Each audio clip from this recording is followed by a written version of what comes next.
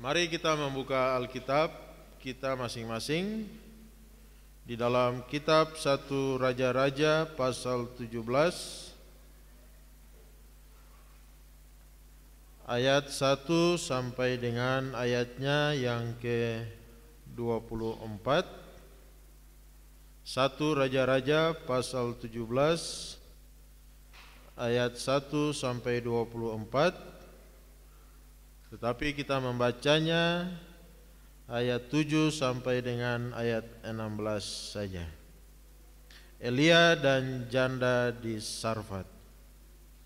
Kita baca secara silih berganti.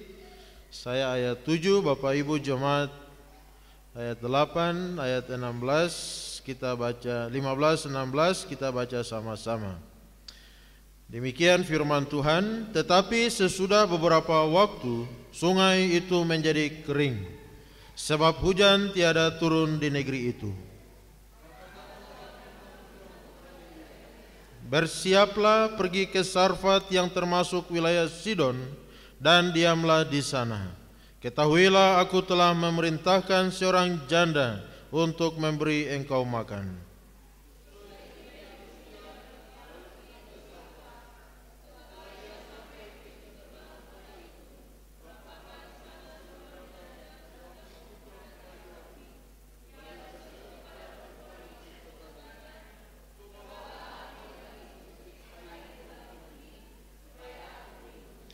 Ketika perempuan itu pergi mengambilnya, ia berseru lagi, "Cobalah ambil juga bagiku sepotong roti."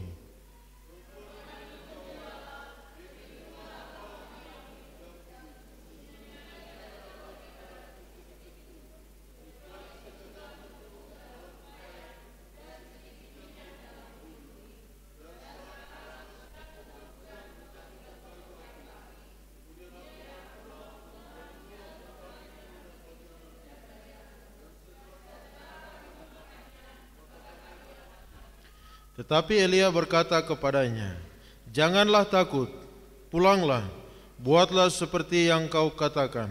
Tetapi buatlah lebih dahulu bagiku sepotong roti bundar kecil daripadanya, dan bawalah kepadaku, kemudian barulah kau buat bagimu dan bagi anakmu.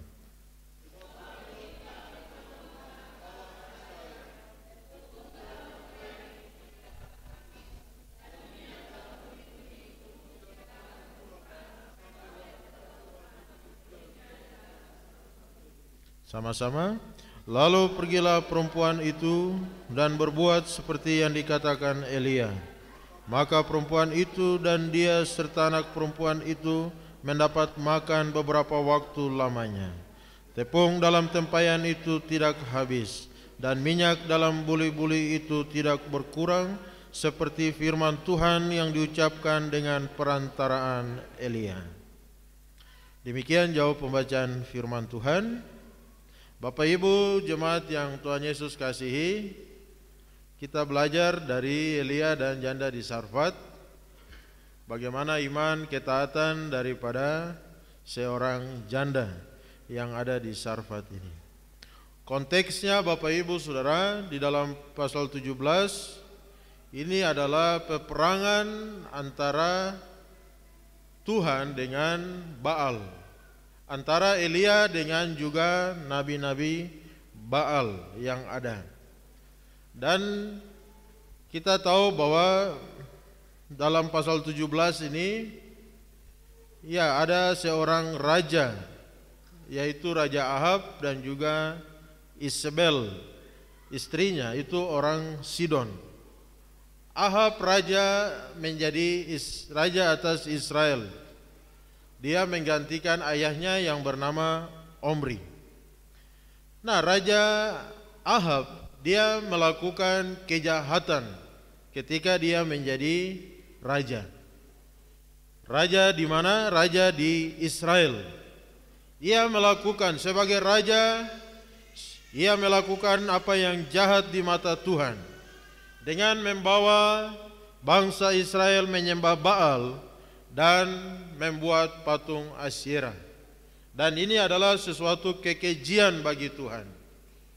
Apa yang raja buat dan umat Tuhan lakukan ini adalah sesuatu yang jahat di mata Tuhan. Nah, oleh karena itu di dalam pasal 17 ini Tuhan utus Nabi Elia untuk pergi dan menegur raja. Nabi Elia Tuhan suruh pergi dan menegur Nabi Raja itu. Bahkan tidak hanya menegur. Tuhan bilang Tuhan akan hukum bangsa itu. Tuhan akan hukum bangsa itu dengan mendatangkan kekeringan atau kemarau yang panjang. Nah, itu di dalam ayat 1. Perhatikan di sana. Berkatalah Elia orang Tisbe kepada Ahab, Demi Tuhan yang hidup Allah Israel yang kulayani, sesungguhnya tidak akan ada embun atau hujan pada tahun-tahun ini, kecuali kukatakan. Dan seterusnya. Jadi lihat bahwa Elia pergi dan menegur serta memberikan hukuman kepada raja dan sekaligus bangsa itu. Jadi kekeringan kemarau yang panjang yang terjadi ini adalah penghukuman Tuhan karena kejahatan yang sudah dilakukan. Dalam Yakobus 5 ayat 17 dikatakan bahwa kemarau itu berlangsung selama tiga tahun dan enam bulan. Jadi satu jangka waktu yang cukup panjang, tiga tahun dan enam bulan. Nah oleh karena itu Ahab dan juga Isabel, terutama Isabel ini sangat benci kepada Elia, kepada hamba Tuhan itu. Dan mereka ingin untuk membunuhnya, membunuh Elia. Kenapa? Karena Elia tidak mengucapkan kata-kata yang baik, kata-kata yang mendatangkan berkat kepada mereka. Tetapi justru menegur mereka. Dan oleh karena itu Bapak Ibu Saudara, Elia memang dia tidak ya bermulut manis, dia tidak sebagai penjilat untuk datang dan ya mendekati Ahab yang adalah seorang raja itu yang juga berbuat jahat. Tetapi dia datang dan memang dia benar-benar menyampaikan firman Tuhan. Bapak Ibu Saudara yang Tuhan Yesus kasihi, karena mereka ingin membunuh Elia, maka lihat bahwa Tuhan menyuruh Elia untuk pergi ke sungai Kerit. Pergi ke sebelah timur, sungai Kerit. Dan di sana Tuhan akan memelihara kehidupan Elia. Nah, Bapak Ibu Saudara, kenapa Elia langsung pergi berjalan ke timur dan bersembunyi di tepi sungai Kerit. Ayat 3 itu ya. Elia seakan-akan ini bersembunyi. Tetapi ada penafsir yang bilang bahwa Elia harus pergi supaya jangan mereka cepat-cepat memohon, minta ampun dan lain sebagainya sehingga ya Elia akhirnya berbaik hati dan kemudian mengampuni mereka. Jadi Tuhan bilang pergi ke timur, pergi ke sungai Kerit. Tetapi memang juga bahwa keadaan waktu itu semua daerah Israel itu terjadi kemarau atau kekeringan yang panjang. Tidak ada hujan, bahkan embun saja tidak ada. Berarti ini situasi yang memang sedang sulit. Bapak Ibu Saudara yang Tuhan Yesus kasihi, Tuhan suruh Elia pergi ke sungai Kerit. Dan ayat 3 sampai 6 Tuhan perintahkan burung gagak untuk memberi Elia makan. Dan setelah beberapa waktu Bapak Ibu Saudara yang Tuhan Yesus kasihi, rupanya sungai itu menjadi kering. Kalau hanya ya satu bulan, dua bulan, tiga bulan, mungkin enam bulan masih bisa bertahan. Tetapi karena kekeringan itu panjang, akhirnya sungai itu pun menjadi kering. Tidak lagi ada air. Bapak Ibu Saudara, kalau tidak ada air, ini berarti kan susah. Orang kalau dia punya rumah bagus, dia punya makannya enak, tapi kalau tidak ada air, itu susah. Air ini sesuatu hal yang memang penting sekali. Dan kalau sampai sungai Kerit itu juga kering, berarti mau bagaimana lagi? Tetapi lihat bahwa Tuhan sanggup memelihara hambanya. Tuhan sanggup memelihara anak-anaknya. Dan lihat bahwa ketika sungai itu kering, apa yang terjadi? Dalam ayatnya yang ke-9, maka datanglah firman Tuhan ayat 8, datanglah firman Tuhan kepada Elia, Bersiaplah pergi ke Sarfat yang termasuk wilayah Sidon dan diamlah di sana. Ketahuilah, aku telah memerintahkan seorang janda untuk memberi engkau makan. Jadi lihat bahwa Tuhan memerintahkan Elia untuk apa? Pergi ke timur. Tadi di atas ayat 1 sampai 6 Tuhan perintahkan Elia untuk pergi ke timur. Tuhan perintahkan burung gagak. Lalu di dalam ayatnya yang ke-8 firman Tuhan juga datang. Ayat 9 Tuhan katakan telah memerintahkan seorang janda untuk memberi engkau makan. Memberi Elia makan. Nah, siapakah janda ini? Janda ini memang tidak disebutkan namanya. Tetapi yang jelas janda ini dia hidup dengan seorang anak perempuannya. Tetapi perhatikan bahwa janda ini yang hidup dengan anak seorang anak perempuannya ini, mereka dua ini ada dalam keadaan ekonomi yang tidak hanya kita bilang miskin, tidak. Ini lebih parah dari miskin lagi.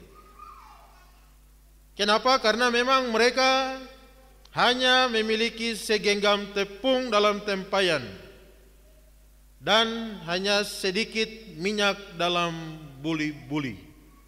Ayatnya yang ke 12. Dia berkata bahwa tidak ada apa-apa, segenggam tepung saja dan sedikit minyak dalam buli-buli. Tetapi Bapak Ibu Saudara jemaat yang Tuhan Yesus kasihi, Justru janda inilah yang Tuhan perintahkan untuk memberi Elia makan. Bukan janda yang kaya. Bukan. Bahkan di dalam kitab Injil, Yesus juga mengingat tentang peristiwa ini. Tuhan suruh Elia untuk pergi bukan kepada janda-janda yang ada di Israel, bukan. Tetapi janda yang ada di luar Israel, yang ada di Sidon, Sidon ini mereka bermusuhan dengan orang Israel. Tetapi Tuhan perintahkan ada seorang janda di sana yang akan memberi Elia makan. Nah Bapak Ibu Saudara yang Tuhan Yesus kasihi, nah perhatikan bahwa bagaimana caranya Elia bisa tahu bahwa inilah dia janda yang Tuhan perintahkan untuk memberi Elia makan. Bagaimana caranya? Nah, perhatikan bahwa caranya adalah waktu Elia masuk ke kota Sarfat ayat 10 ya. Sampai di pintu gerbang ada seorang janda yang sedang mengumpulkan kayu api. Dan Elia mencobai ibu janda itu. Tolong ambilkan bagiku sedikit air dalam kendi supaya aku minum. Nah, ini cara Elia untuk menentukan siapakah janda yang Tuhan maksudkan. Memang ada banyak janda. Tetapi yang mana yang Tuhan maksudkan? Apalagi yang Tuhan perintahkan ini adalah seorang janda yang sebenarnya tidak layak. Dia jauh dari kata mapan dan lain sebagainya.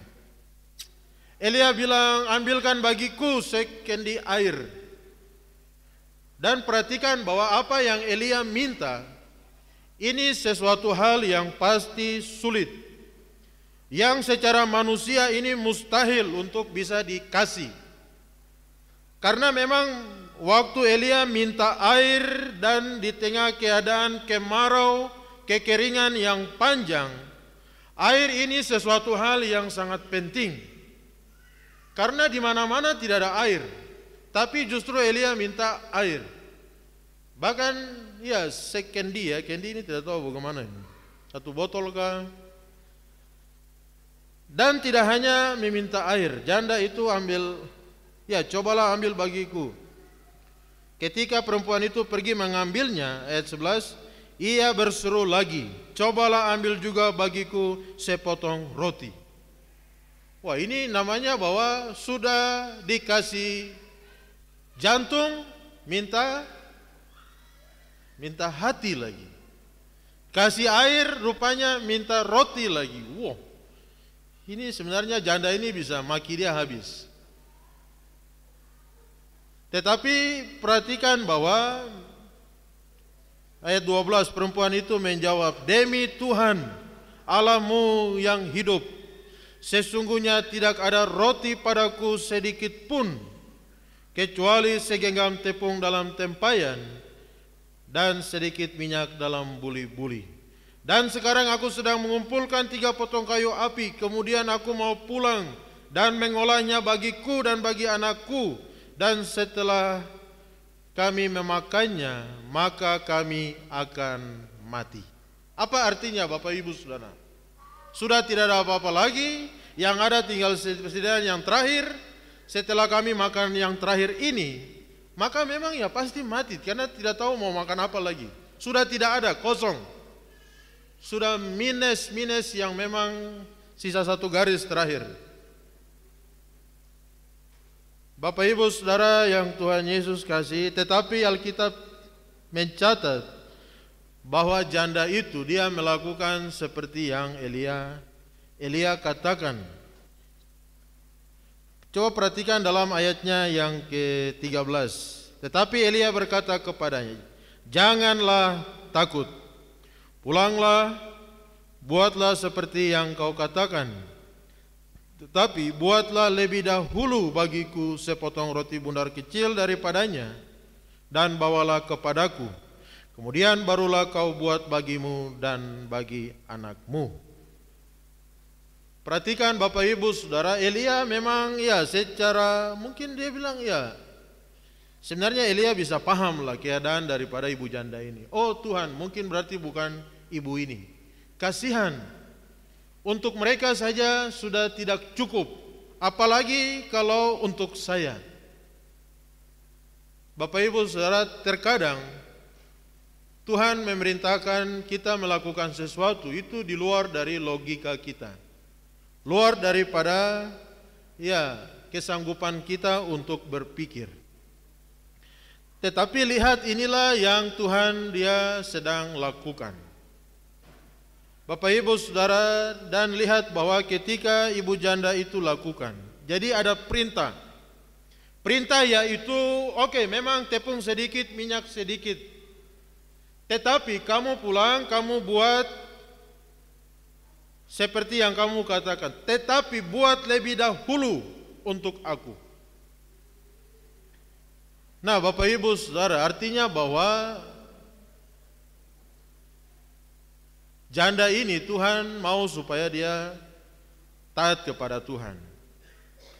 Dalam ayatnya yang ke-14, sebab beginilah firman Tuhan Allah Israel, tepung dalam tempayan itu tidak akan habis dan minyak dalam buli-buli itu pun tidak akan berkurang sampai pada waktu Tuhan memberi hujan ke atas muka bumi. Ayat 14 ini janji ya.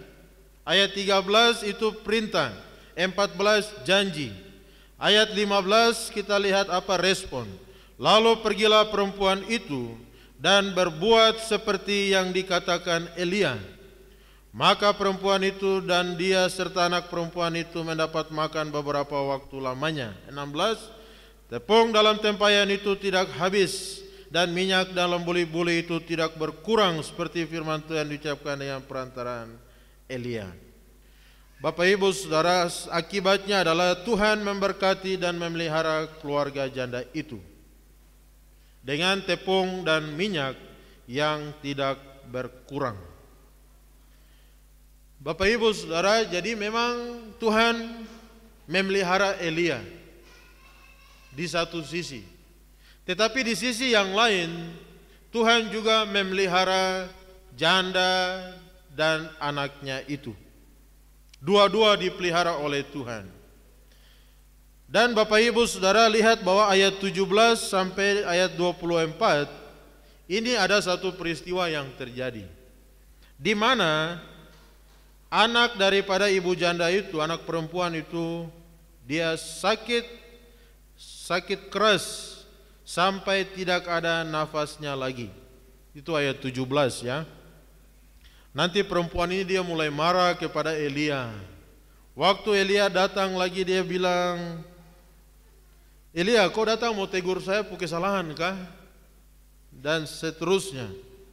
Tetapi lihat bahwa apa yang pernah janda ini lakukan, rupanya Tuhan juga masih terus berperkara dengan ibu janda ini.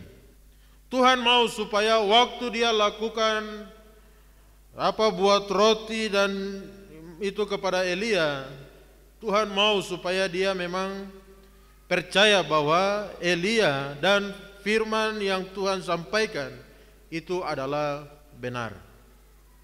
Jadi ayat 17 sampai 18 kita lihat waktu ibu janda ini menghadapi masalah Tuhan tidak tutup mata.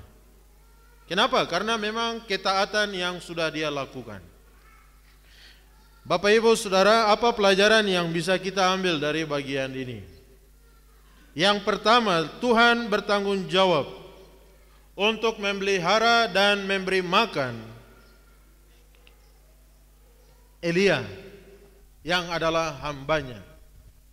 Elia ini gambaran daripada Israel, umat Tuhan. Sama seperti waktu umat Israel, orang Israel keluar dari Mesir. Tuhan pelihara mereka di padang gurun dengan memberikan mereka mana dan juga memberikan mereka air. Dan inilah bentuk cara bagaimana pemeliharaan Tuhan di tengah-tengah keadaan yang tidak memungkinkan. Ke mana Allah utus Elia, Tuhan sudah perintahkan orang atau bahkan burung gagak untuk memberi dia makan. Ke mana saja Elia Tuhan perintahkan, Tuhan utus, Tuhan suruh, lakukan, kerjakan, buatkan, buat sesuatu. Tuhan juga sudah memfasilitasinya. Oleh karena itu Bapak Ibu Saudara, apa saja yang kita buat di dalam rangka kita melakukan kebenaran firman Tuhan, tidak usah khawatir. Kenapa? Karena Tuhan sudah dan Tuhan pasti akan memelihara kehidupan kita. Yang kedua, pelajaran yang kita ambil bahwa lihat bahwa Tuhan bisa pakai apa saja dan Tuhan bisa pakai siapa saja untuk melayani hambanya atau untuk menopang pekerjaannya. Tuhan bisa pakai orang yang kaya tetapi Tuhan juga bisa pakai orang yang sederhana, orang yang tidak terpandang. Tuhan memilih orang yang rendah hati untuk mendengarkan dan melakukan firman Tuhan dengan penuh ketaatan seperti yang Tuhan kehendaki. Tuhan bisa pakai siapa saja. Tuhan pilih orang yang rendah hati. Orang kaya Tuhan bisa pakai tatkala memang dia punya kerendahan hati untuk mendengarkan dan melakukan firman Tuhan. Tapi kalau orang kaya tidak mau dengar dan tidak mau melakukan firman Tuhan, Tuhan juga bisa pakai orang yang sederhana untuk mendengar dan melakukan firman-Nya seperti yang Tuhan kehendaki. Sebagaimana dalam pembacaan yang kita baca hari ini, kita lihat bahwa seorang ibu janda yang memang sedang pas-pasan, sedang tidak ada apa-apanya. Tetapi Tuhan sanggup memakai untuk apa? Untuk menyatakan kuasa dan kemuliaannya. Untuk meneguhkan Elia sebagai nabinya.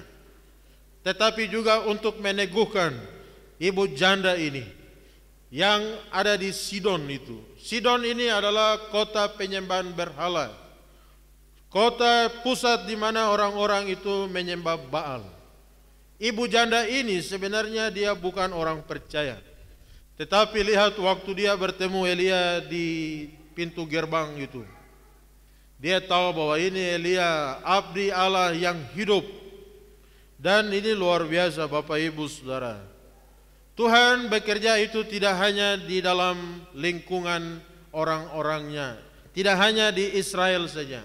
Bahkan di wilayah-wilayah musuh di sana juga Tuhan berkuasa.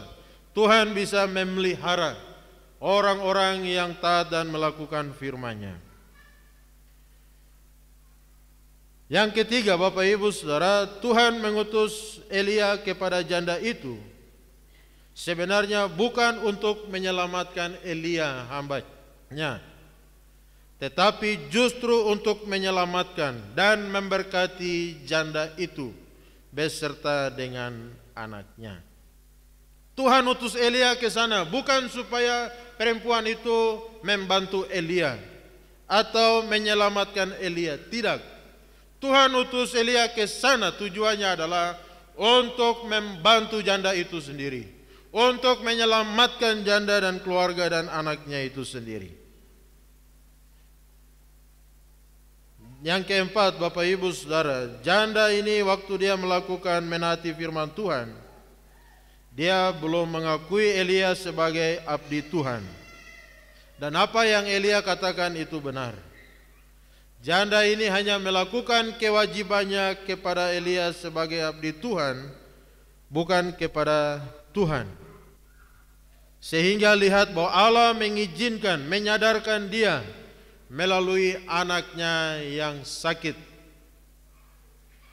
dan kemudian anak itu disembuhkan sehingga ibu itu boleh belajar satu hal yang penting tentang Tuhan. Baca ayat 24 pasal 17. Kita baca tiga. Kemudian kata perempuan itu kepada Elia, "Sekarang aku tahu bahwa engkau abdi Allah dan firman Tuhan yang kau ucapkan itu adalah benar. Nah, Tuhan belum selesai berproses dengan ibu janda ini lewat roti dan minyak yang ada. Tuhan masih terus kejar-kejar dia sampai Tuhan izinkan anaknya itu sakit keras dan tidak ada lagi napasnya.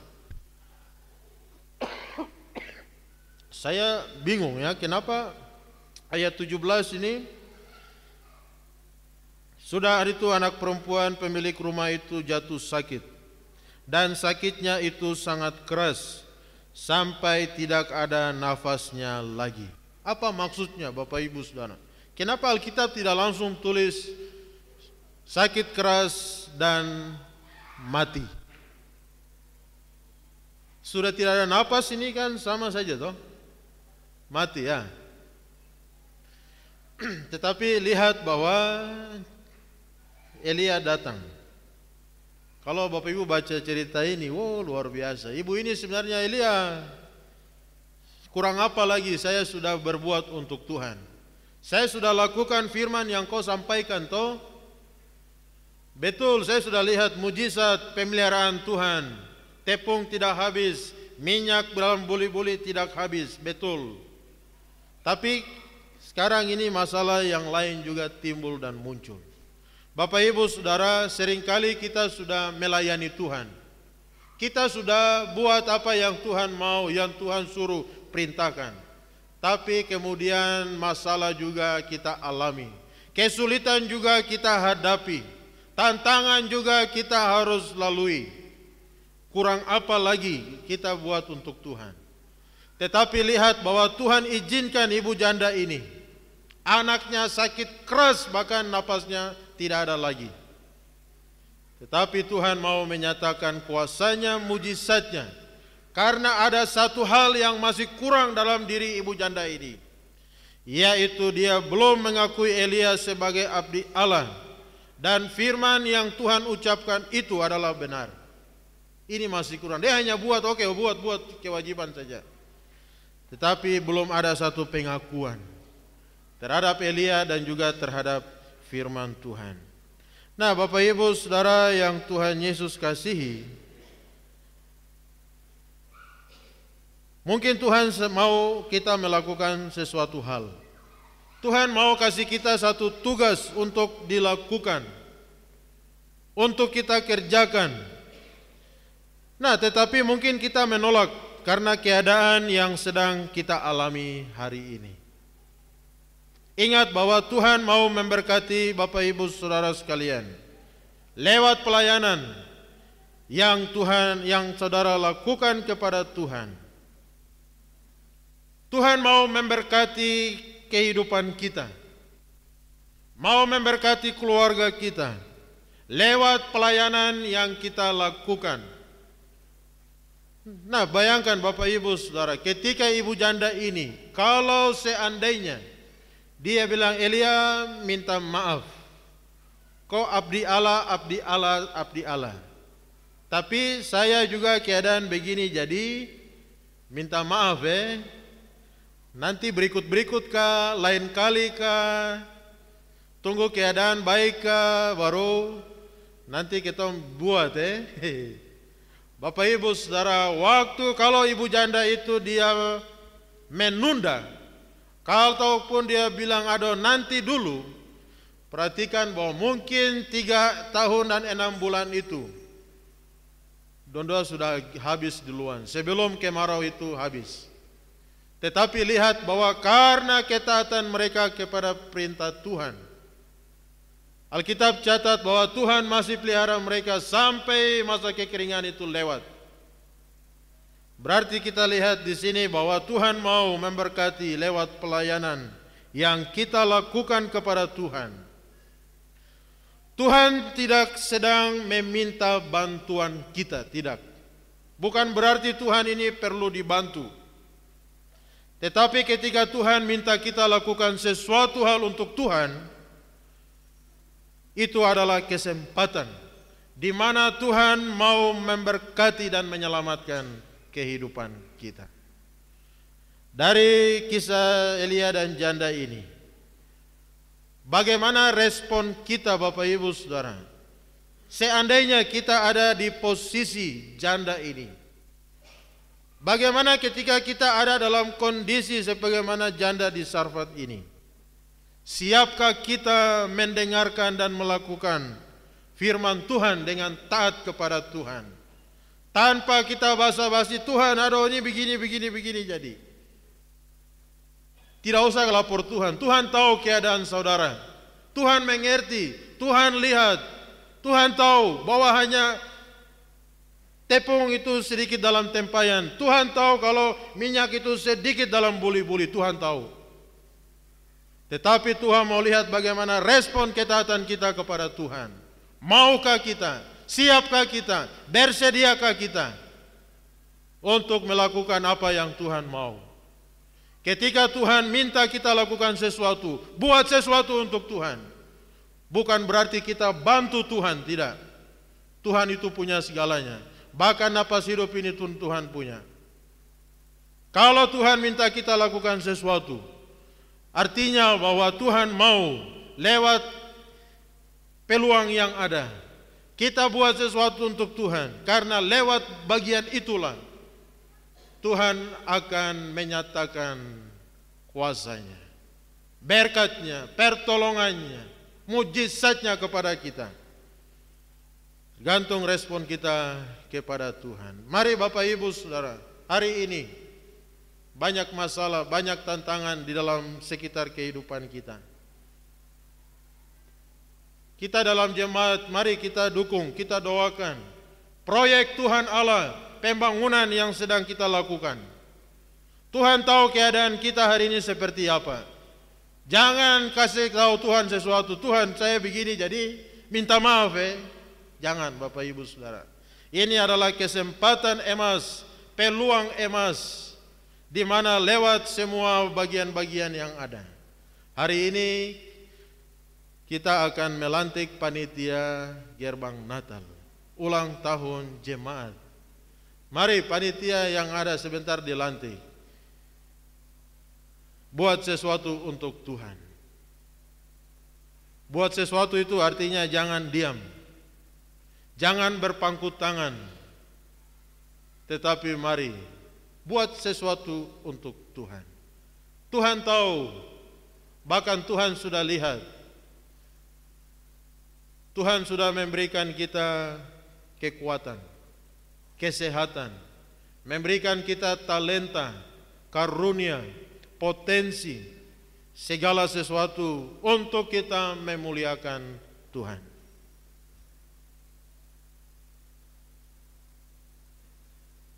Jangan bilang, ah Tuhan, kalau saya tidak terlibat, saya tidak mendukung pekerjaan Tuhan. Nanti Tuhan rugi. Jangan salah Bapak Ibu Saudara. Karena sebenarnya itu kita yang rugi.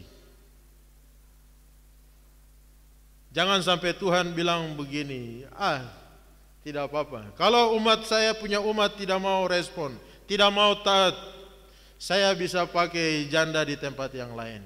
Saya bisa pakai orang di tempat yang lain. Bahkan Yesus pernah berkata bahwa kalau kalian tidak mau memuji-muji menyembah saya, batu-batu ini juga bisa memuji dan menyembah saya. Artinya bahwa kalau ada kesempatan, jangan tunda. Jangan lewatkan. Karena kalau kita abaikan kesempatan yang Tuhan kasih untuk kita, Tuhan bisa pakai orang lain. Tuhan bisa pakai siapa saja. Burung gagak ini sesuatu yang tidak pernah dipikirkan. Janda di Sarfat ini tidak dipikirkan, tapi Tuhan pakai menyatakan kemuliaannya, kuasanya, dan berkatnya.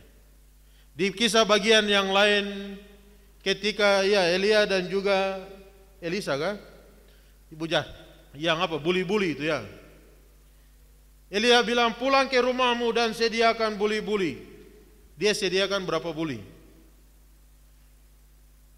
Ibu janda itu, berapa buli? Sebanyak yang dia sediakan, itulah sebanyak itu penuh. Berarti Bapak Ibu Saudara, kalau kita siapkan satu buli, berarti buli itu pasti penuh. Kalau kita siapkan dua buli, lima buli, sepuluh buli, jangan khawatir. Seberapa yang kita siapkan, itulah yang akan Tuhan memberkatinya. Kiranya Tuhan memberkati kita lewat kebenaran firman Tuhan ini. Hari ini kita akan makan dan minum dari perjamuan Tuhan. Tuhan sudah memberi yang terbaik untuk hidup kita. Dia mati bagi kita supaya kita hidup untuk Dia. Dia sudah ya habis-habisan untuk kita supaya kita tidak habis untuk dia. Dia sudah mati supaya kita hidup. Dia sudah disengsarakan supaya kita bisa mengalami kemenangannya. Bapak Ibu Saudara yang Tuhan Yesus kasihi, pengorbanan Kristus bagi kita semua adalah pengorbanan yang sungguh-sungguh Kasih yang sungguh-sungguh yang dia lakukan, yang dia buktikan, dia tunjukkan, memberikan yang terbaik, yaitu nyawanya bagi kita semua. Apa yang bisa kita buat, kita balas. Tidak ada yang bisa kita balas. Selain kita memberikan hati kita, memberikan hidup kita, kasih kita kepada Tuhan yang sudah begitu baik, yang sudah mati dan bangkit bagi kita supaya kita kelak tidak binasa. Kiranya Tuhan memberkati. Mari kita berdoa.